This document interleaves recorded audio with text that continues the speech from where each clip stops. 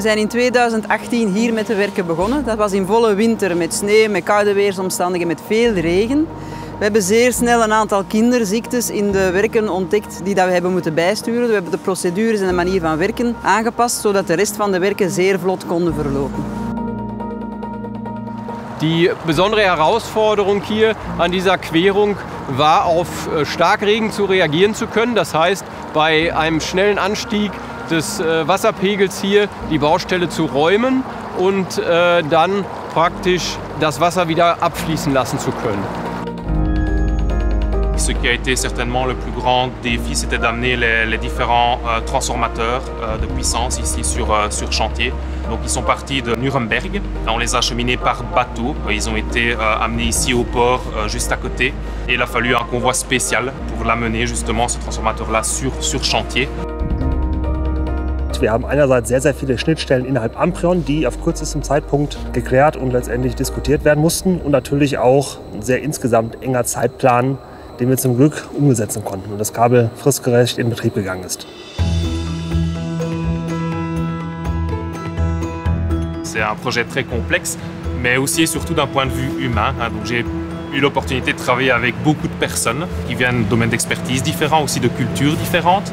Wir haben immer, sind immer fair miteinander umgegangen, haben viel miteinander gelernt, voneinander gelernt. We hebben procedures uitgewisseld, manier van werken uitgewisseld. We hebben daar ook heel veel uit geleerd. Und es war eine sehr gute Zusammenarbeit. Man hat sich sehr gut ergänzt, man konnte Aufgaben gewisserweise aufteilen und dann nachher sich beraten. Het was een zeer fijne samenwerking met onze collega's van Amprion. En voor ons was het eigenlijk een uniek en een historisch project.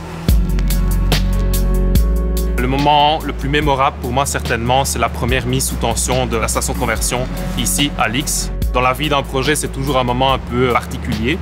Man war verwundert, dass der Umrichter auf einmal da war. Es hat funktioniert, ohne großen Knall, ohne irgendwelche Auslösungen und man war ein bisschen stolz, ja. Ik denk het moment dat we eigenlijk de tunnel geboord hebben en hier aankwamen na anderhalf jaar was echt wel een moment van wauw, we zijn er geraakt en hetgeen dat we ontworpen hebben gaat echt ook wel werken. Aber es ist natürlich eine Teamleistung, die wir entsprechend gemeinsam ausgeführt haben, sowohl mit der ELIA wie auch äh, mit allen meinen Kollegen bei der Amprion. Il y a euh, des centaines de milliers d'heures qui ont été prestées par les différents intervenants, par des dizaines et des dizaines d'entreprises différentes qui ont travaillé ensemble et d'une certaine manière contribué à atteindre cet objectif-là. Ça donne un peu une saveur particulière justement à ce moment. Donc c'est oui, certainement le moment mémorable de, euh, de ce projet. Es hat mich stolz gemacht, ja, dass wir doch mit allen Projektpartnern, mit allen Beteiligten hier die Anlage im Zeitplan ans Netz gebracht haben. Certainement un sentiment de fierté, aussi une certaine nostalgie, euh, parce que c'est en quelque sorte le projet d'une vie et on arrive aujourd'hui à la fin. Uiteindelijk gaat het over 90 kilometer kabel, twee converterstations. Dat is niet min om dat te bouwen in zo'n korte periode. En ik vind dat ja, de teams mogen daar echt wel fier over zijn. Aber es war für mich das erste ähm, Großprojekt, was ich ausgeführt habe. Das heißt, in meiner ähm, Karrierezeit soweit ein sehr, sehr wichtiger Meilenstein.